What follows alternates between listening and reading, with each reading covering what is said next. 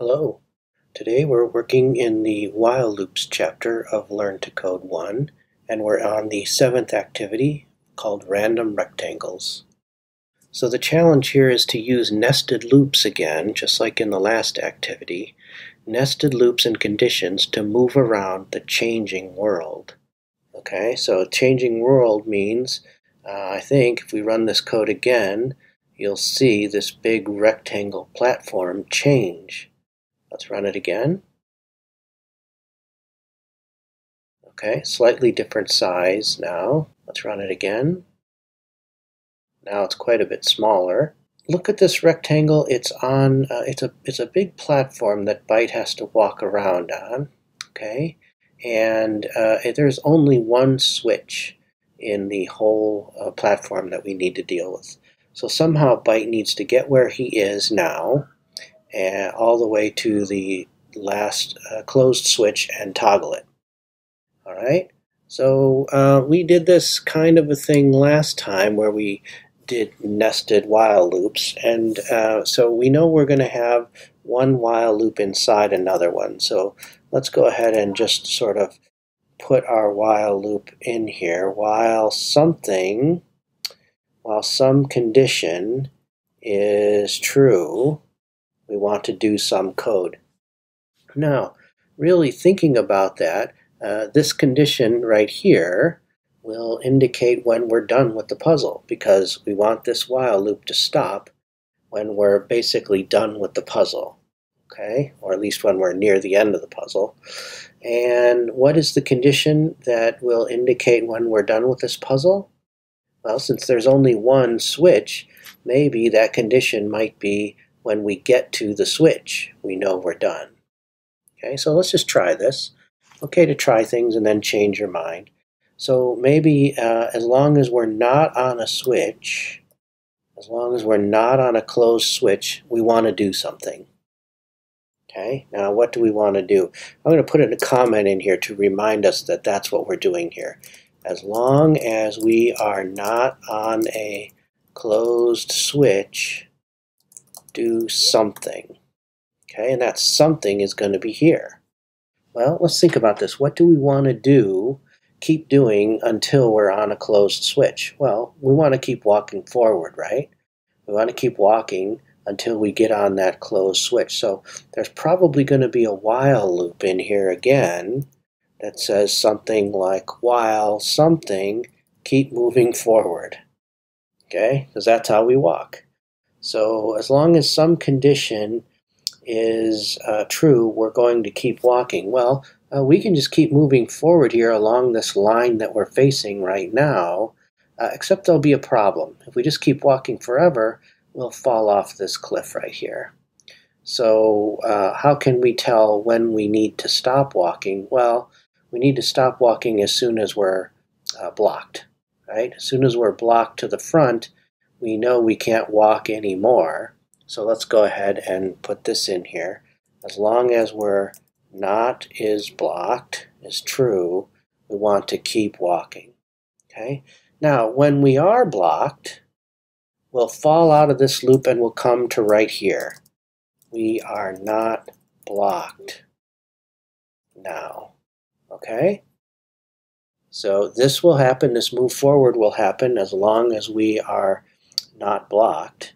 And then when we are blocked, well, what do we want to do when we're blocked? Well, one thing we'd like to do probably is just turn to the right because we need to keep moving along this rectangle here.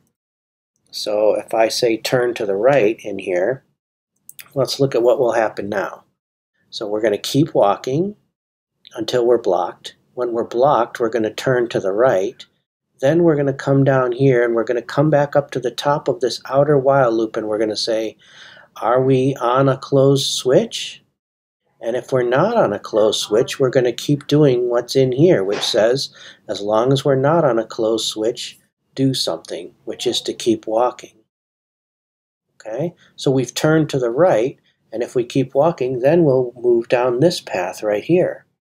Then when we get blocked, we're going to turn right, and after we turn right, we're going to come back up here, ask if we're on a closed switch.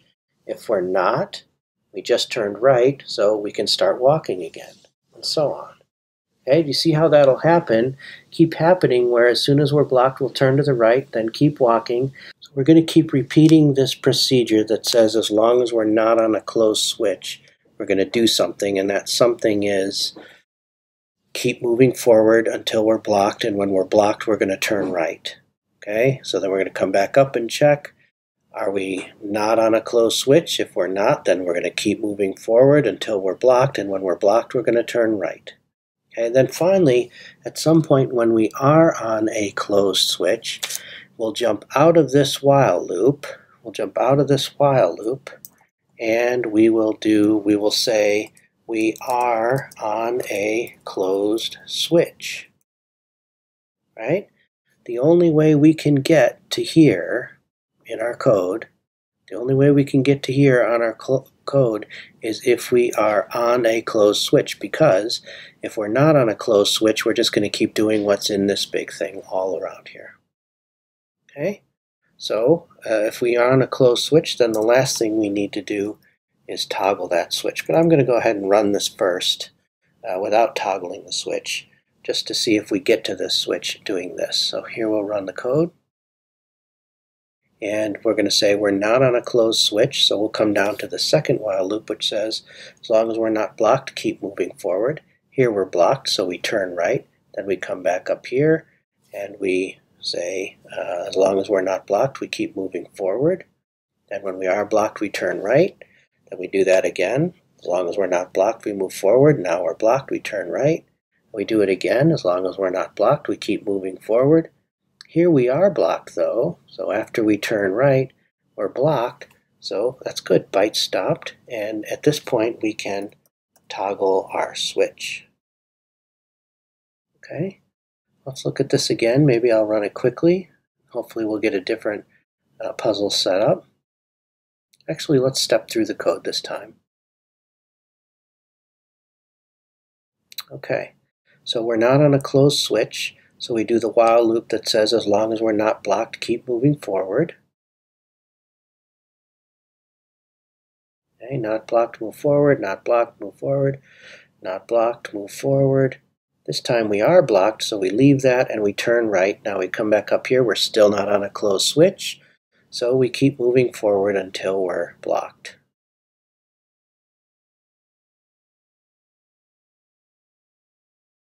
When we're blocked, we don't do this while loop anymore, we just turn right.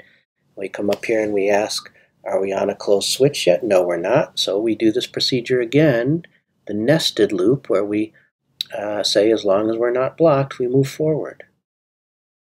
This completes all the way until we're blocked and then we turn right. Then we come up here. We say, are we on a closed switch? No. So we execute the inner while loop again, which says, as long as we're not blocked, move forward. Here we're blocked, so we turn right. We come up, up here, check the while loop, and we are on a closed switch, so we leave the outer while loop. And the last bit of code we have is to toggle the switch. Okay? So Just a reminder, if we get out of this while loop here, we know we have to be on a closed switch, which is why we can just toggle a switch there. All right. Okay, let's review uh, at least what we're doing here. We used a nested while loop, so this while loop in here is written inside an outer while loop. So this is the inner nested while loop, and this is our outer while loop. This one happens lots of times inside the outer while loop, and it, the, the middle, the inner one, the nested loop, executes all the way to completion before we come down and do this one again. Okay, so at our first time through this while loop, this one executes all the way through. Then our turn right executes. Then our second time through the while loop, this has to go all the way through until it's done. And then this code happens. And then we come back and so on. Okay, let's do something here to make this possibly a little simpler to understand what's going on here. What if we were to take this code right here, all the way to here, and turn this into an abstract idea that just says, keep walking forward until we're blocked and then turn right. Okay, so I'm going to cut this out of here. cut this out of here and put this in a function uh, somewhere up in front of this. Okay, so let's say func, and we'll call it keep walking forward until blocked, then turn right. Okay, that's probably a little too long for a function name, but we're just using this as a little experiment here. So we took out the while we're not blocked, move forward, which is keep walking forward until we're blocked, because when we're blocked, we'll leave this while loop and then we'll turn right. Now, inside this while loop here, as long as we're not on a closed switch, what we want to do is just keep walking forward until blocked, then turn right. Okay? Do you see how this is exactly the same code? Because uh, inside this function, keep walking forward until blocked, then turn right, is just the while loop that says as long as we're not blocked, move forward, then turn right. So uh, this is still a nested while loop. We've got a while loop inside this function that's nested inside this here. But this reads maybe a little simpler to understand, which is just in the grand scheme of things, as long as we're not on a closed switch, we want to keep walking forward until we're blocked, then turn right. Okay, so we're going to keep doing the keep walking forward until blocked, then turn right procedure all the way until we're on a closed switch, and when we are on a closed switch, we're going to stop walking forward until blocked, then turn right, and then we're going to toggle the switch immediately. Okay?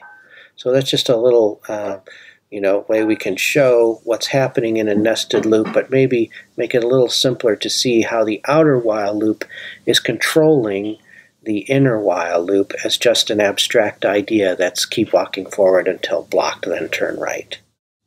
Okay.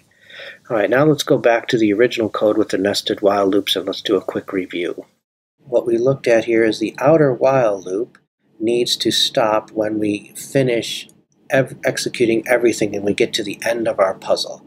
And we knew we were at the end of our puzzle when we we're on a closed switch. So for that while loop, we said as long as we're not on a closed switch, we want to keep doing something. And that something we thought about abstractly, which is just keep walking forward. Okay?